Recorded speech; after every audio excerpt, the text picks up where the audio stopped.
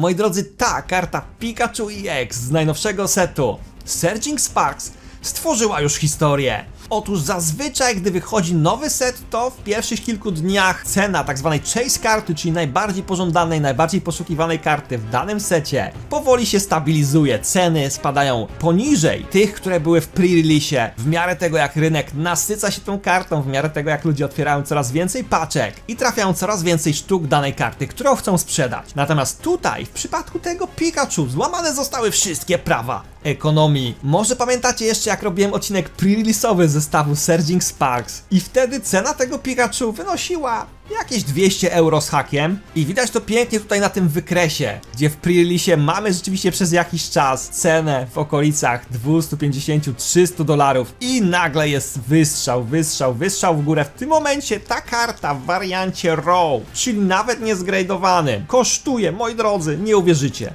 ponad 550 dolarów. Tak, to nie jest żart. 2246 zł. Tyle na moment nagrywania tego filmu. Wynosi jej cena w złotówkach. Natomiast jaja zaczynają się, jeśli wejdziemy sobie na popularny serwis aukcyjny i zobaczymy, w jakich cenach są oferty tej karty w PSA 10.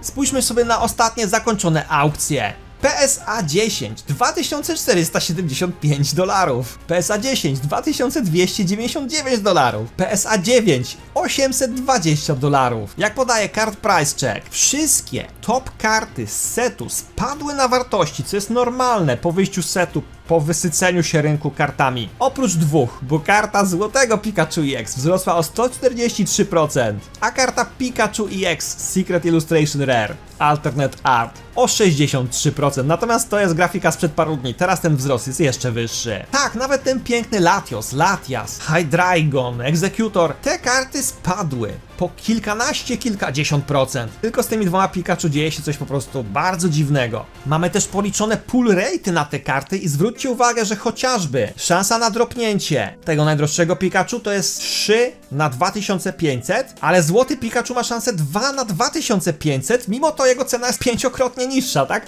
Także sama rzadkość danej karty Pokémon nie przekłada się w tym przypadku na jej cenę. Także w tym filmie ja otworzę tego najnowszego Elite Trainer Boxa Surging Sparks i moi drodzy, mam nadzieję, że ja również wejdę w posiadanie tej najnowszej, szalenie wartościowej karty Pokémon, na punkcie której zwariował cały świat. I przypominam, że paczki z tego setu, zarówno w wersji angielskiej, jak i japońskiej, można kupić na przykład na livestreamie u mnie w soboty od 16 na YouTubie, albo bezpośrednio na pokekarty.pl. Linka do tych produktów zostawiam w opisie. Pamiętajcie o używaniu kodu KUSHI do swoich zamówień.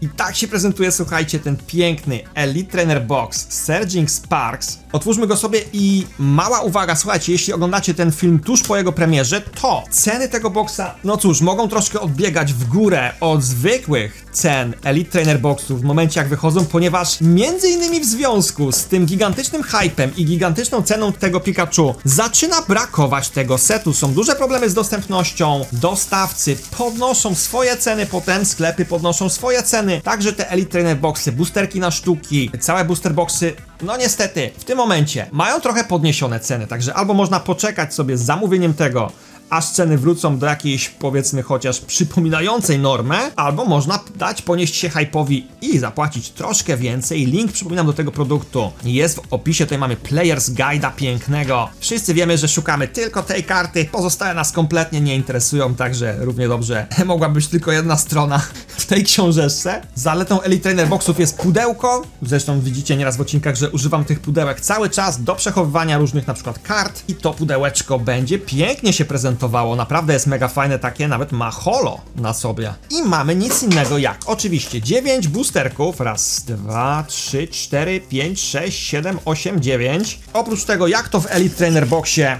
znaczniki, kosteczki, karty energii, przekładki. No jest oczywiście też promeczka z magnetonem. No i koszulki. Wzór jest taki, no, jest piorunek, ale ktoś mi mówił, że od jakiegoś czasu w Elite Trainer Boxach Te koszulki są znowu przejrzyste. Tak, są przejrzyste, bardzo mnie to cieszy. Także ja lubię te koszulki z Elite Trainer Boxów. Przez jakiś czas były takie mętne, zasłaniające dosyć sporo kartę, ale te naprawdę wyglądają ok. Chyba karty będą się w nich prezentować całkiem dobrze. I moi drodzy, powiedzcie mi koniecznie w komentarzach, co wy sądzicie w ogóle o tej całej akcji z tym Pikachu? Czemu on jest taki drogi? Czy to jest coś w rodzaju tulipomanii, że ludzie rzucają się na daną rzecz, przepłacają za nią, potem przez to, że coraz więcej ludzi też chce to mieć, bo usłyszało, że inni chcą to mieć, no to sami też chcą to kupić, cena rośnie, rośnie, rośnie, mimo tego, że ludzie przecież cały czas otwierają nowe paczki, otwierają nowe boxy, tak dużo, że zaczyna ich gdzieś tam brakować u dystrybutorów, a cena dalej, dalej rośnie. Czy ta cena kiedyś się ustabilizuje, moi drodzy? Czy ten Pikachu już na długie, długie lata pozostanie jedną z najdroższych kart do trafienia w jakichkolwiek modern setach kart Pokémon. Wow, mamy słuchajcie całkiem fajnego hita, bo jest Mesprit. Ta karta jest taka śliczna, taka piękna. W ogóle te wszystkie karty z tego setu, które toczą się na tle tego zachodu słońca, czyli też Latios, Latias, moim zdaniem są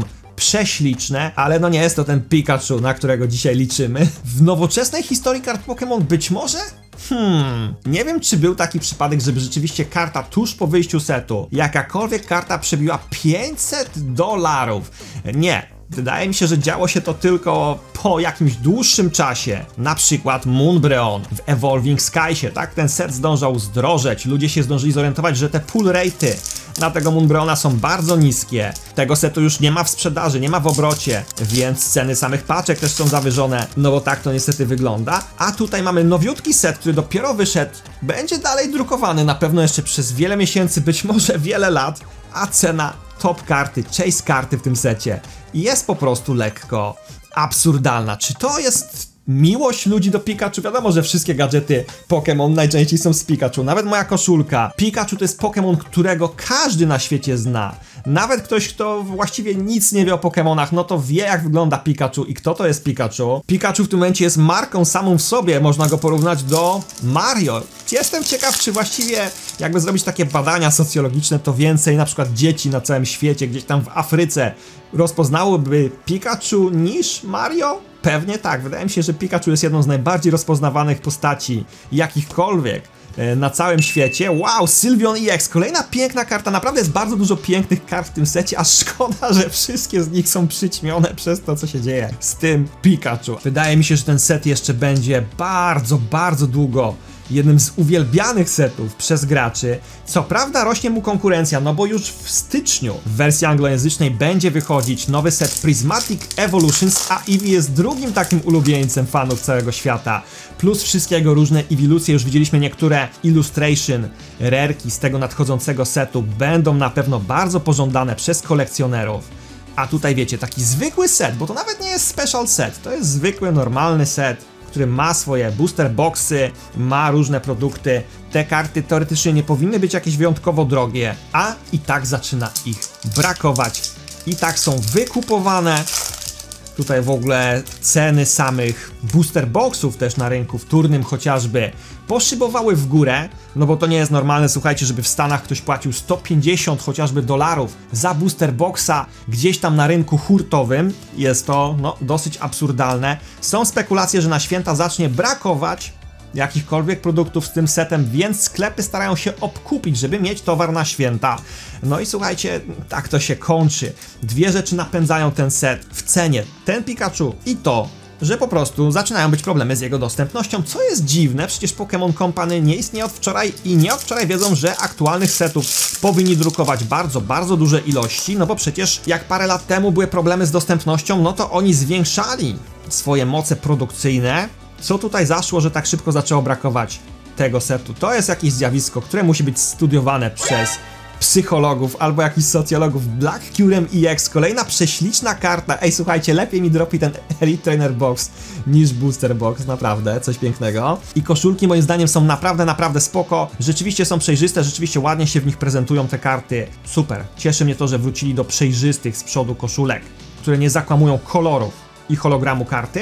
Powiem tak, zazdroszczę wszystkim, którzy już dropnęli tego Pikachu, zazdroszczę i podziwiam spryt wszystkich i zdolność przewidywania wszystkich, którzy kupili go, gdy kosztował 200 250 dolarów, 300 dolarów, 350 dolarów. Mieliście nosa do interesu, słuchajcie. Ja ani go nie dropnąłem, ani go nie kupiłem. Teraz mogę tylko podziwiać te całe przedstawienie i patrzeć na to, jak te jego ceny dalej, dalej rosną. Osobiście powiem tak, ja w tym momencie tej karty nie kupię jako singiel. Jeśli ją trafię, to trafię, jeśli nie trafię, to nie trafię. Moim zdaniem płacenie 500 dolarów za modern kartę, bez nawet PSA-ki, w secie, który dopiero co trafił do sprzedaży, który będzie dalej drukowany przez rok albo dłużej, którego cały czas będzie więcej pojawiać się w sklepach na półkach, to jest już trochę za późno żeby kupować tą kartę na sztukę. I zwłaszcza bym tutaj zwrócił uwagę na te PSA-ki dziesiątki. No jeśli ktoś, kto cię płaci 2000 dolarów za tą kartę w wersji PSA 10, to musi liczyć się z tym, że potencjał spadku kiedyś tej ceny, jeśli ludzie otworzą kolejne dziesiątki tysięcy sztuk tej karty, zgradują kolejne tysiące PSA dziesiątek, jest duży potencjał, żeby jednak docelowo te ceny chociaż troszkę spadły, natomiast potencjał wzrostu ceny karty gdzie teraz się płaci za nią 2000 dolarów za modern kartę, która normalnie idziesz do sklepu, kupujesz spółki, może po troszkę zamrożonej cenie te boostery, ale kupujesz je sobie, otwierasz i trafiasz ją. No to jest coś, co nie działo się wcześniej w historii kart Pokémon, także to jest jakiegoś rodzaju światowa mania. Oczywiście mogę się w 100% mylić, może być tak, że za miesiąc powiem, kurczę, no myliłem się, teraz kosztuje 1000 dolarów. Prawa rynku są takie, że słuchajcie, no jest popyt i podaż, jeśli bardzo, bardzo dużo osób chce mieć tą kartę, chcę ją kupić i ludzie po prostu ulegają takiej zbiorowej, zbiorowej manii, to, że inni chcą coś mieć, sprawia, że ty też to mieć, bo jest taka psychologia, słuchajcie, prestiżu, że to jest teraz najbardziej pożądana karta wśród wszystkich kolekcjonerów, więc ja też muszę ją mieć. E, no to sprawia, że ta cena jest windowana w górę, ale przestrzegam, słuchajcie, żeby się nie skończyło tak, że na przykład za rok ten set dalej będzie drukowany w dużych ilościach i będzie gdzieś tam zalegał na półkach, i cena tego Pikachu zacznie gdzieś tam spadać. I ja osobiście poczekam. Chciałbym dodać go do swojej kolekcji, rzeczywiście jest piękny i rzeczywiście też mi się udzieliło chęć zdobycia tego Pikachu, ale Teraz na spokojnie, raz na jakiś czas sobie otworzę gdzieś tam paczuszkę Surging Sparksów i jak go nie trafię, to może uda mi się go kupić za rok, za półtora roku i ja tak coś liczę, że być może w korzystniejszej cenie. Także jak kogoś interesują Elite Trainer Boxy Surging Sparks, oczywiście zostawiam linka do karty. można zamawiać, można też boosterki na sztuki, booster boxy. Z tego setu wersję japońską też mamy, dużo wychodzi korzystniej cenowo, to wszystko zalecam kupować z kodem zniżkowym Kushi i widzimy się w sobotę na openingu paczek dla widzów na żywo na YouTubie. Trzymajcie się, do zobaczenia o 16 w sobotę.